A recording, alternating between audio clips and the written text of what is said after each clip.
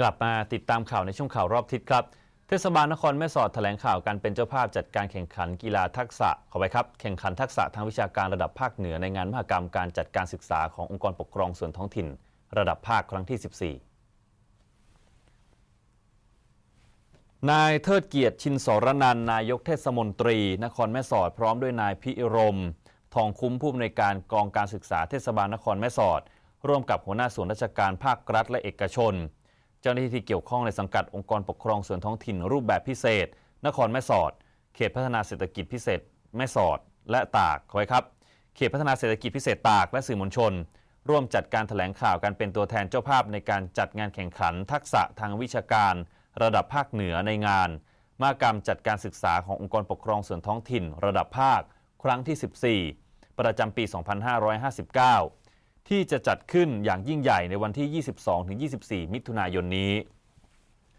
นายกเทศมนตรีนครแม่สอดกล่าวว่ากรมส่งเสริมการปกครองส่วนท้องถิ่น และองค์กรปกครองท้องถิ่นทุกแห่ง ร่วมกันจัดงานนี้ขึ้นเป็นประจำทุกปี เพื่อเป็นการประชาสัมพันธ์เผยแพร่ผลงานทางวิชาการ การประกวดแข่งขันทักษะทางวิชาการ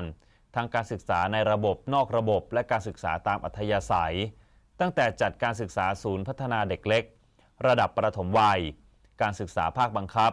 การศึกษาระดับมัธยมศึกษาตอนปลาย ประเภทสามัญศึกษา และประเภทอาชีวศึกษา เพื่อให้ประชาชนทั่วไปได้รับรู้ข่าวสาร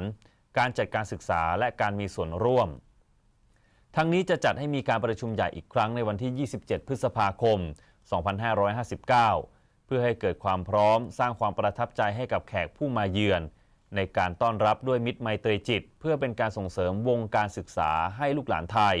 อีกทั้งเป็นการกระตุ้นเศรษฐกิจการค้าการท่องเที่ยวในเขต เศรษฐกิจพิเศษตากอีกด้วย